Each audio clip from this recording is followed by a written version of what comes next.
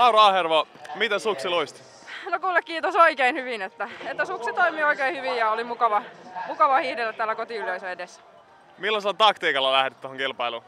Öö, no semmosella, että pikkasen silleen niin kuin rauhassa se alku, että, että on sen verran kylmä keli ja, ja kuitenkin aika raskas rata, niin vähän silleen kuulostellen se ensimmäinen kierros ja sitten, sitten yritin ainakin vähintäänkin samaa vauhtia pitää toisen kierroksen ja kiristää sitten siinä, että ettei ainakaan mene siihen, että, että hyytyy sitten viimeisellä kierroksella.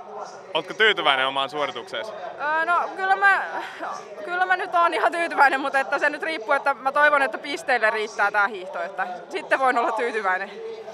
Okei, näin viimeisenä päivänä haluaisitko sanoa jotain terveisiä vielä kisakatsomalle?